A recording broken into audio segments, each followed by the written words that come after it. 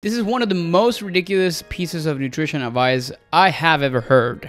I honestly thought this guy was joking when I first started watching, but then I realized that unfortunately, He's that serious. The video I'm talking about is from a guy named Paul Saladino. One of his major controversial claims, which has helped him build a following of over 500,000 people on TikTok and millions on Instagram and other platforms, is that you should stop eating vegetables. Why would you eat plant leaves? If you're surprised to hear someone says that vegetables are bad for you, you're definitely not alone. But Paul Saladino is an advocate for something called an animal-based diet. This is similar to the carnivore diet, which has been gaining a ton of popularity on social media over the last couple years, except that he includes a few more foods besides just meat. Today I'm going to explain some of the claims about vegetables that Paul Saladino makes and give you the straight answer about whether anyone needs to be worried about their vegetable consumption. So make sure you keep watching till the end.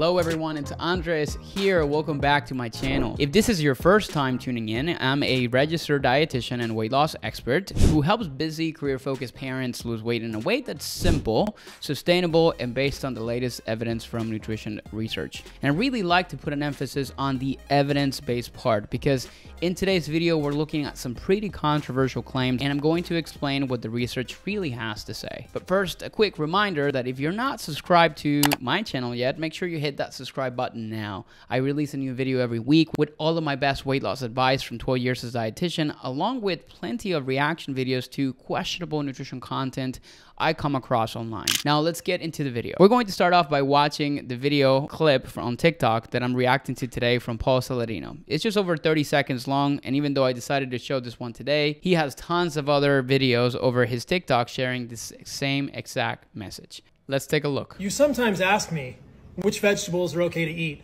My answer is no. Why would you eat plant leaves and stems and roots and seeds? These are the most highly defended parts of plants. Plants do want you to eat the fruit to move the seeds to the next generation, but they don't want you to destroy the seeds in the process. They definitely don't want you to eat the leaves or the stems or the roots because those are necessary to make the seeds as well. They put defense chemicals in those parts of plants. Things like oxalates, lectins, saponins, Digestive enzyme inhibitors like tannins. These are going to mess up your digestion and your hormones, generally make you feel horrible. and They're going to make you fart a lot too. You guys know what I like? I like the least toxic plant. Okay, so to start, let's take a look at Paul Saladino's qualifications just to tell you a little bit more about him. Paul is a medical doctor. He's board certified in psychiatry. But it's an important point to make that just because someone is a doctor does not mean they're a credible source of information or nutrition information. I get comments about this stuff all the time but he or she's a doctor and they know what they're talking about.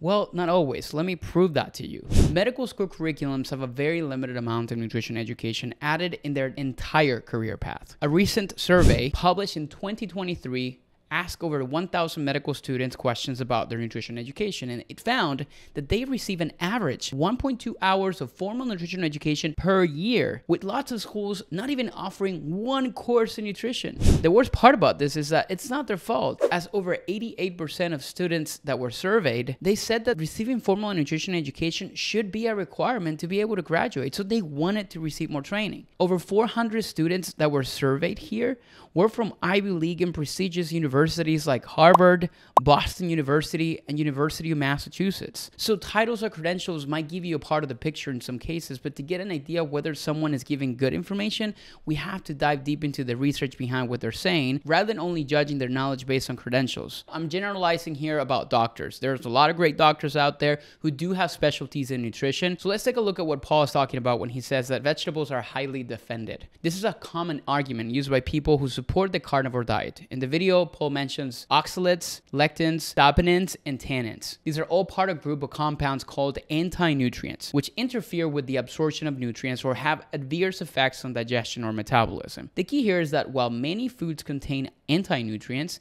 they're usually present in very small amounts and are not typically harmful when consumed as part of a balanced diet. However, excessive intake of foods high in anti-nutrients may lead to nutrient deficiencies or other health issues, just like anything in excess will. You can drink a lot of water and you can die. I'll give you some examples of common anti-nutrients and the foods that you'll find in them. One example is phytates. Phytates are found in seeds, nuts, grains, and legumes, and they can bind to minerals such as calcium, magnesium, iron, and zinc, reducing their absorption in the digestive tract. Second, we have oxalates, which Paul mentioned, and they're found in things like spinach, beet greens, rhubarb, and certain nuts. They can bind to calcium to form chrysoxylates, and in certain sensitive people, they can increase the risk of kidney stones. Then you have tannins. These are found in tea, coffee, wine, and some fruits, and they can interfere with the absorption of iron and other minerals and then lectins, which are proteins found in grains and legumes and some vegetables. Now, while some lectins have beneficial effects, others can interfere with nutrient absorption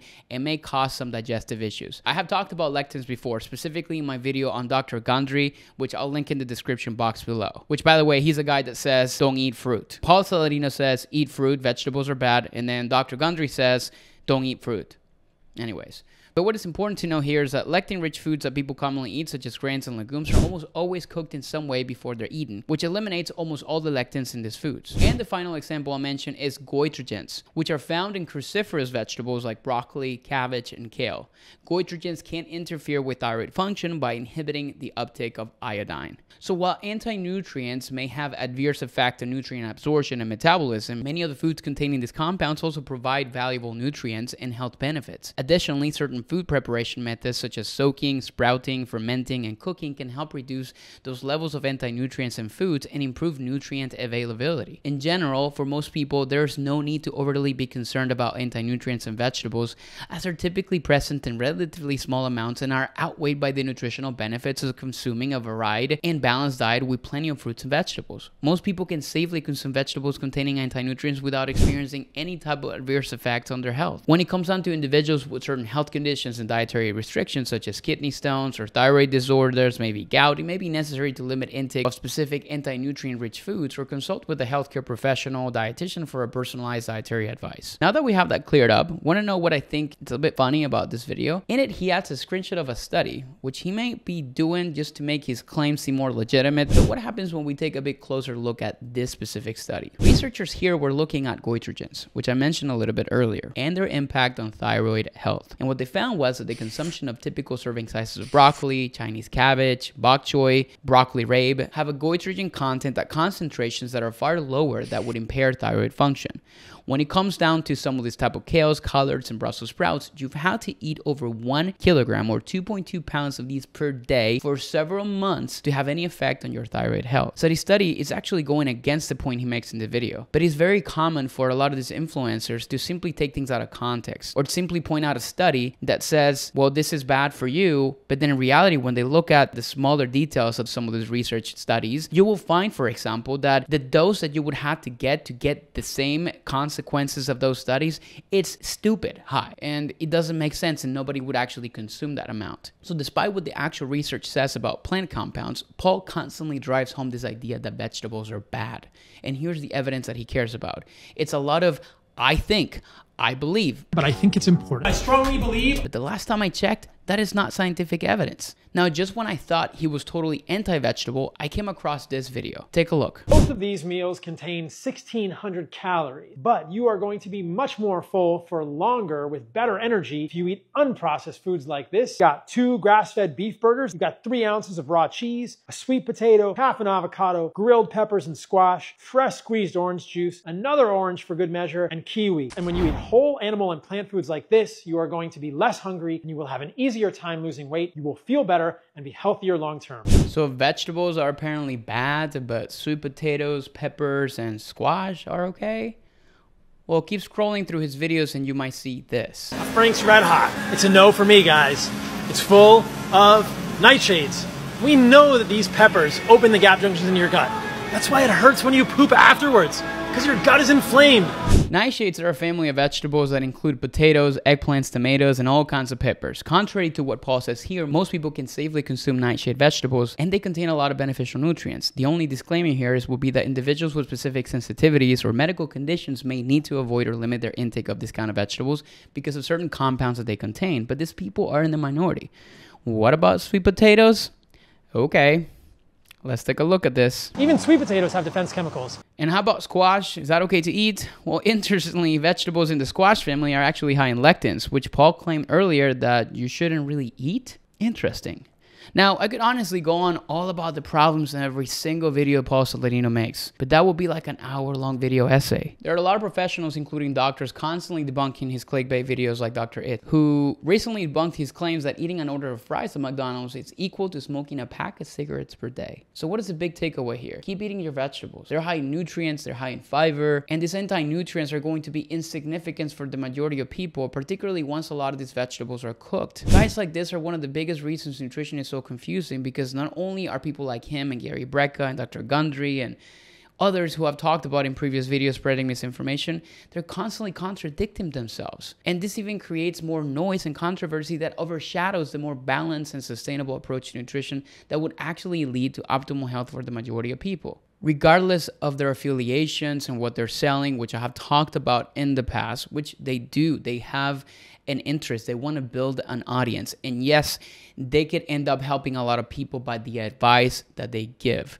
Because when you make some of these crazy changes, you're probably going to improve parts of your health, but it doesn't have to be dramatic changes the way that he presents them. He wants to do clickbait content that will get you to watch, will get you to comment. It's polarizing content here. And because of that, he gets more views, he gets more people to see his website, and he gets to sell his supplements. I forgot to even mention the associations this guy had with Liver King. And we know, or maybe you know, about the controversies about a lot of his content and that fact that he was taking performance enhancing drugs. But, anyways, that'll be a separate video or just for another occasion. But that's everything I wanted to cover here today, guys. Even though I know Paul's TikTok's page has hundreds more videos that are equally problematic. But anyways, thank you so much for tuning in here today, and I hope that this helped clear up some of the confusion around the topics of vegetables and animal-based diets. If you come across any other videos you'd like me to watch or react to or any topic related to nutrition or weight loss, make sure you leave a comment below, tag me on the video you would like me to react to, or send me a message on Instagram at Andres Ayesta and let me know. Bye for now, and I'll see you in the next video.